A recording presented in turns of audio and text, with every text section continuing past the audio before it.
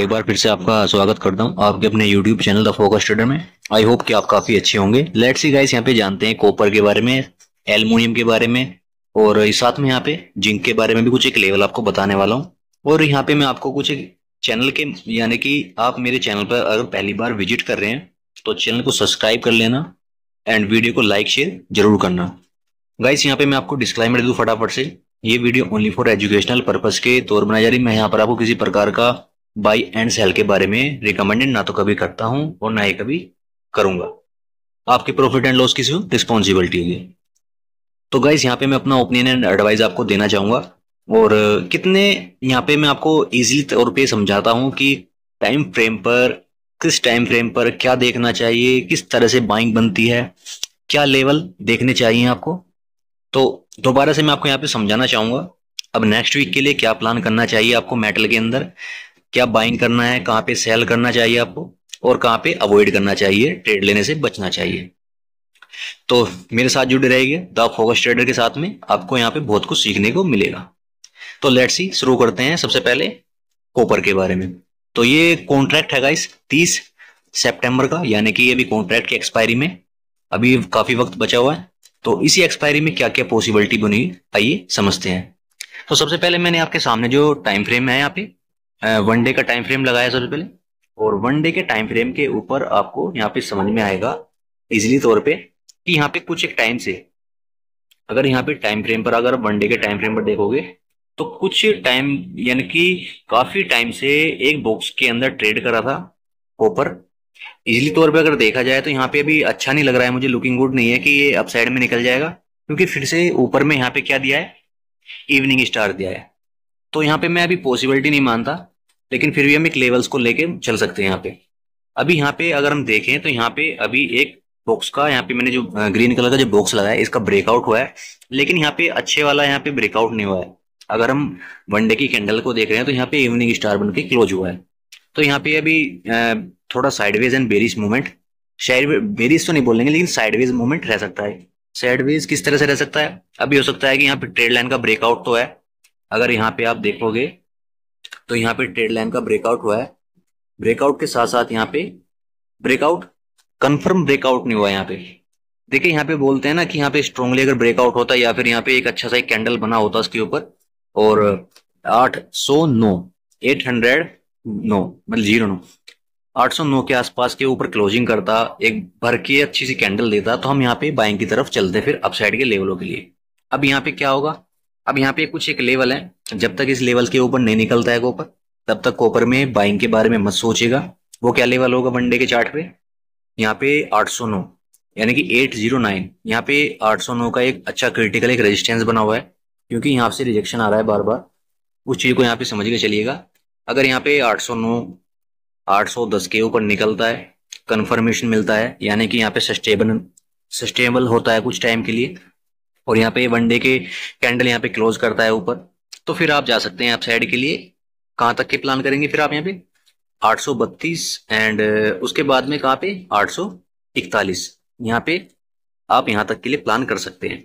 लेकिन यहाँ पे अच्छी कैंडल क्लोज होनी चाहिए 809 810 के ऊपर। अब यहाँ पे देखते हैं फोर आवर्स के चार्ट के ऊपर कि फोर आवर्स के चार्ट के ऊपर क्या मूवमेंट है।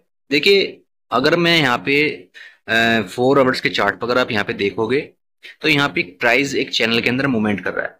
यानी कि प्राइस क्या है चैनल के अंदर डोमिनेट कर रहा है ठीक है ना अब यहाँ पे क्या हुआ है यहाँ पे क्या हुआ है कि यहाँ पे डाउन साइड में आया अगर हम यहाँ पे चैनल का अपर देखेंगे एंड डाउन देखेंगे तो यहाँ पे प्राइस डाउन साइड में कंसोलिडेट करा और यहाँ पे साइडवेज हुआ काफ़ी टाइम से फिर यहाँ पे चैनल की मिडिल लाइन के पास में जाके यहाँ पे रेजिस्टेंस फेस किया है यानी कि यहाँ पे भी कन्फर्मेशन नहीं है तो एग्जैक्टली जो मैंने आपको यहाँ पे वन डे के चार टाइम फ्रेम पर जो लेवल बताया है ना यानी कि 809 810 और उसके ब्रेकआउट के बाद में कुछ यहाँ पे प्लान कर सकते हैं। फिर यहाँ पे आपको अपसाइड में ये टारगेट आपको देखने को मिल सकते हैं।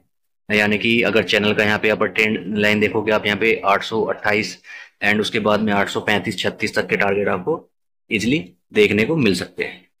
तो ये था गाइस यहाँ पे कोपर का एनालिसिस और यहाँ पे हम सपोर्ट की बात कर लेते हैं कि सपोर्ट क्या है वन डे के टाइम फ्रेम वन डे के एंड फोर आवर्स के टाइम फ्रेम पर। अगर यहाँ पे फोर आवर्स के टाइम फ्रेम पर देखोगे तो अभी बिल्कुल रजिस्टेंस जोन पे खड़ा है। यहाँ पे ट्रेड लेना कोई उचित नहीं है। डाउन साइड में क्या सपोर्ट बना हुआ है? डाउन साइड में तो काफ़ी बड़ा सपोर्ट नज़र आ रहा है मुझे, अगर मैं यहाँ पे देखूँ। समथिंग अराउंड मुझे यहाँ पे सात सौ पिचानवे, यानी कि सेवन नाइन फाइव यहाँ पे एक अच्छा खासा है कि यहाँ पे सपोर्ट बना है। कहाँ पे? ये जो यहाँ पे आप देख पा रहे होंगे, यहाँ पे अच्छा खासा एक सपोर्ट है इस जोन में। तो इसको सपोर्ट मान के आप यहाँ पे वर्क कर सकते हैं। अब यहाँ पे फटाफट से बात करते हैं एल्मोनियम के बारे में। एल्मोनियम में भी आपको मैं कुछ एक ऐसा लेवल बताने वाला हूँ। और पहले भी मैंने आपको एक लेवल बताया था एल्मोनियम के अंदर। और डेफिनेटली वो लेवल आपको यहाँ पे हिट हो चुका है, यानी कि वो टारगेट आ चुके हैं। और आपको एक बात और बोलूँगा मैं यहाँ पे एल्मोनियम वालों, यानी कि जो एल्मोनियम में ट्रेड करना पसंद करते हैं ना एल्मोनियम में ट्रेड को छोड़ना मत, बने रहना, कहाँ तक के लिए बने रहना अब यहाँ पे? एल्मोनियम में अब 232 232 236 यानी कि 200 three two two hundred three six यहाँ तक के लेवल के बने रहना अप साइड के लिए, क्योंकि अब अच्छा खासा यहाँ पे मूवमेंट आएगा। क्योंकि यहाँ पे एक कंसोलिड ट्रेड लाइन के ऊपर यहाँ पे ब्रेकआउट हुआ है। ब्रेकआउट के साथ में यहाँ पे एक डब्लू पैटर्न क्रिएट करेगा, पूरा शॉर्टली यहाँ पे डब्लू पैटर्न क्रिएट करेगा अप साइड के लिए। तो यहाँ पे इस मूवमेंट को कैप्चर करके रखना, जिनकी ट्रेड बनी हुई है, वो ट्रेड को रेगुलर यहाँ पे बना के रखना। और यहाँ पे अब फ्रेश एंट्री करने वाले भी यहाँ पे वेट करें अभी थोड़ा सा, क्योंकि फ्रेश एंट्री का अच्छा यहाँ पे अभी जोन नहीं है। और यहाँ पे फ्रेश एंट्री अगर करना चाहेंगे तो कहाँ पे करना है, वो भी मैं आपको बताऊँगा यहाँ पे। तो यहाँ पे अगर हम यहाँ पे बात करते हैं तो सेलिंग जोन कहाँ पे है? अब यहाँ ब्रेकआउट तो हो चुका है, क्योंकि यहाँ पे 227 के ऊपर यहाँ पे क्लोजिंग दिया, यानी कि 228 के पास में यहाँ पे क्लोजिंग हुई है, और सपोर्ट के ऊपर ही क्लोजिंग हुई है, जो कि 227 का सपोर्ट था यहाँ पे। तो यहाँ पे अभी सेलिंग जोन कहाँ पे बना हुआ है? ये जो आपको एरिया यहाँ पे नज़र आ रहा होगा, इसकी सेलिंग जोन है। यानी कि प्राइस को कहाँ से गिरना चाहिए? या फिर रिजेक्शन होना चाहिए? 235 एंड 236 के आसपास यहाँ पे रिजेक्शन होना चाहिए डेफिनेटली और इन लेवल्स के ऊपर निकलता है 236 के ऊपर निकलता है तो फिर आपको बहुत ही बड़े लेवल मिलने वाले हैं। फिर यहाँ से फ्रेश बाइंग बनेगा गाइस जो भी फ्रेश बाइंग करेंगे, वो 236 के ऊपर करें और सस्टेन करने दें। फिर यहाँ से अच्छा खासा मूवमेंट मिलेगा आपको दो रुपए तक का टारगेट आपको अपसाइड में दिखाई देंगे। नीचे में सपोर्ट लेवल की बात कर लेते हैं। नीचे में सपोर्ट लेवल क्या है हमारे पास में? नीचे में अगर मैं यहाँ पे ट्रेड लाइन की सपोर्ट को लेकर यहाँ पे चल सकते हैं, यानी कि 216 का अच्छा खासा सपोर्ट बना हुआ है, बहुत ही अच्छा सपोर्ट है। और इस सपोर्ट के टूटने से एल एलमोनियम में फिर एक नीचे साइड में एक लेवल ओपन होगा, जो कि 207 तक के लिए ओपन हो जाएगा। फॉरवर्ड के टाइम फ्रेम पर देखते हैं। फॉरवर्ड के टाइम फ्रेम पर क्या सीन है? एग्जैक्टली exactly जो मैंने आपको वनडे के टाइम फ्रेम पर समझाया वही हुआ यहाँ पे। देखिए थोड़ा सा यहाँ पे आ, अभी क्या है यहाँ पे एक थोड़ा हल्का सा एक रेजिस्टेंस है यानी कि दो के पास में फॉरवर्ड्स के टाइम फ्रेम पर।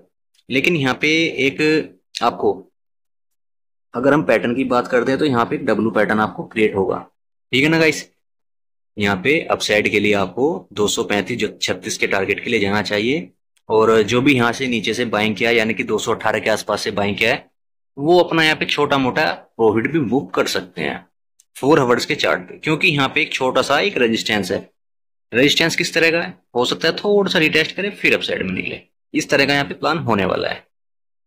तो चलिए गाइस अब बात कर लेते हैं फटाफट से जिंक के लेवल के बारे में। तो जिंक भी भाई साहब यहाँ पे कुछ रुकने वाला नहीं है। जिंक को तो है ना, पकड़ के रखना है यहाँ पे। ठीक है ना? क्योंकि जिंक में बहुत अच्छा लेवल मिलने वाला है आपको अपसाइड में। क्योंकि जिस तरह से यहाँ पे रिकवरी लेकर के अपसाइड में निकल रहा है ना जिंक, बहुत ही अच्छा यहाँ पे लेवल मिलेगा आपको अपसाइड में। क्योंकि यहाँ पे थोड़ा सा एक रेजिस्टेंस लिखा रहा है यहाँ पे, जो कि दो सौ अड़सठ यानी कि 268 के आसपास यहाँ पे रेजिस्टेंस थोड़ा सा फेस कर रहा है। इस रेजिस्टेंस के ब्रेकआउट के बाद में अच्छा खासा मूवमेंट आपको नज़र आएगा जो कि 278 यानी कि 278 तक के टारगेट आपको इजिली दिखा देगा। और वनडे के टाइम फ्रेम पर देखते हैं फटाफट से। वनडे के टाइम फ्रेम पर क्या सीन है? हाँ एग्जैक्टली वो ये सीन जो मैंने आपको बोला है ना यहाँ पे। यहाँ पे रेजिस्टेंस कहाँ पे फेस करेगा? चैनल की अपर ट्रेड लाइन के आसपास। वो कहाँ पे है? वो समझिएगा। यहाँ पे अच्छी खासी एक आपको रिकवरी भी देखने को मिली है। अगर मैं चैनल को, अगर मैं चार्ट को भी थोड़ा जूम आउट करता हूँ, यहाँ पे मिडिल लाइन से आपको अच्छी खासी एक रिकवरी देखने को मिली है, जो कि जिंक का जो प्राइस है, कहाँ तक डोमिनेट कर सकता है? समथिंग अराउंड दो सौ बहत्तर के लिए डोमिनेट कर सकता है आप साइड के लिए। और इस चैनल का ब्रेकआउट करता है ना तो फिर आपको दो सौ अठहत्तर, यानी कि टू सेवन एट तक के भी टारगेट आपको इजिली दिखा सकता है यहाँ पे। सपोर्ट लेवल की बात कर लेते हैं। अब सपोर्ट लेवल क्या होने वाला है?